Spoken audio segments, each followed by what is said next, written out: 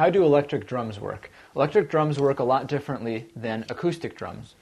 Electric drums, when the drums are actually off, don't really make a sound, as you can see.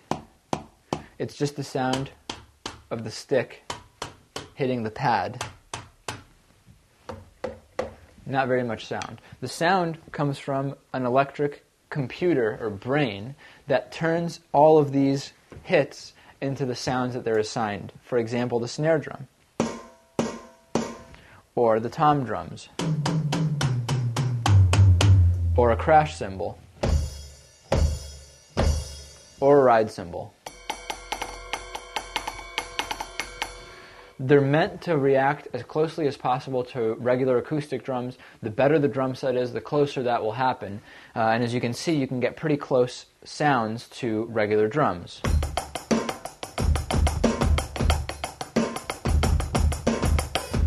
The way that they actually work is that they have sensors inside which sense how hard